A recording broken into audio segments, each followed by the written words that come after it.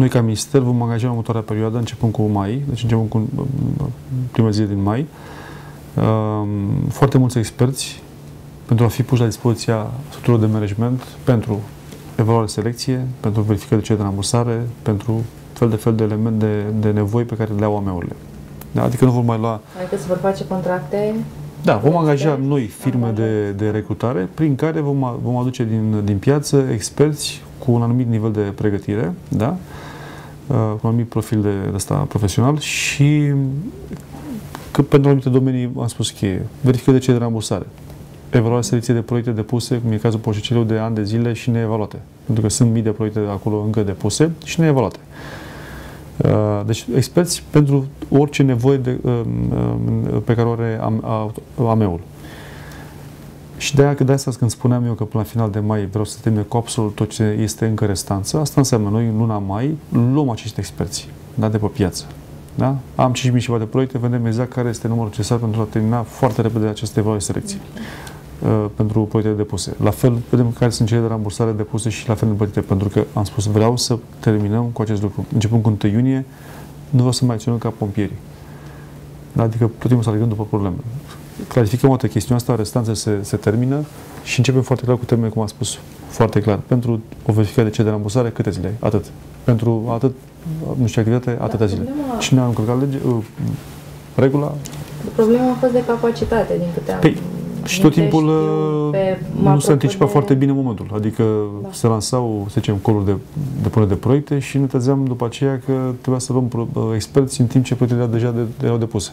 Corect. Până da, se făcea licitație, până se luau experții și mai departe, se contestau firme între ele. Da, da proiectele zăceau acolo și deci niciodată nu s-a, adică n-a fost această uh, viziune, să spunem, uh, um, o abordare, să zic așa, proactivă și în fine, să putem anticipa aceste momente în timp la care avea nevoie de un suport uh, tehnic masiv. De asta am spus, luăm de acum, noi luăm ca minister, că în tot ce înseamnă postdru, POSCC, POR și tot ce care au nevoie, postmediu, experți pe aceste principale elemente, achiziții publice, evaluare selecție, cele de rambursare, verificare, pe control, pe audit.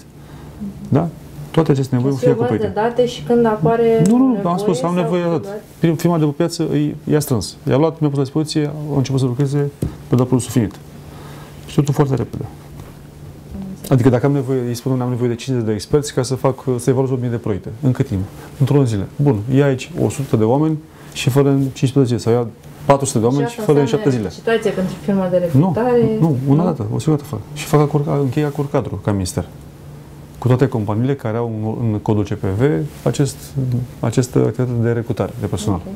Da? Deci cu firme de... Da? Deci eu angajez firmă de recrutare. După care tot timpul stau pe timpul acordului de cadru la dispoziția noastră cu, pentru a ne pune la dispoziție experți. Da, pe aceste okay. cinci categorii sau câte uh, vom identifica noi ca și nevoi. Ar trebui să funcționeze bine. Păi, S-a nu, demarat nu deja sigur. Da, va fi pe site-ul da? Ministerului începând, cred că de mâine, spre aceste miercuri. Da, uh, miercuri, deci de mâine sper să o postez pe site-ul Ministerului. Va fi pentru că de 10 zile pusă pe site. Companiile cu acest profil în uh, activitatea lor, lor vor putea să vină să propună.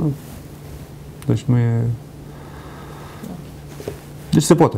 Dacă vrem, am spus se poate și de asta, astea sunt elemente pe care mă, mă bazez atunci când spun că la final de an vom ajunge la nivelul absorpției la care am spus că încă nimeni nu prea, sau foarte Ce puțin cred. Da. Uh, sunt foarte puțini care cred acest lucru, dar încă o dată, eu am, am elemente și păi, argumente. În experiența de până acum, nu prea putem să credem atât de ușor. Pe și eu de ce să nu spun că, având experiența mea de până acum, să nu pot să cred că trebuie să poate? Păi vedem, suntem de în aprilie. Comisia are să ramburseze câteva, la câteva zile un calcul.